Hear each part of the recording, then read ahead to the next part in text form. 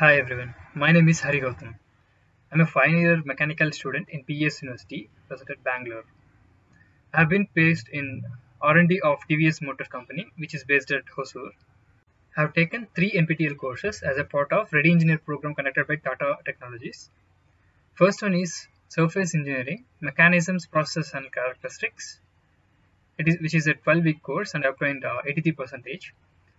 And second one is Conduction and Convective Heat Transfer, conducted by IIT Kharagpur, which is a 12-week course and I obtained uh, 70 percentage. And the final one is Product Design and Development, conducted by IIT Roorkee. I got 99 percentage. I learned a lot of things uh, apart from our academics, which has been uh, taught in our college, and it really helped me to go ahead in my career. Uh, so it, it really helped me to explore new uh, domains as well.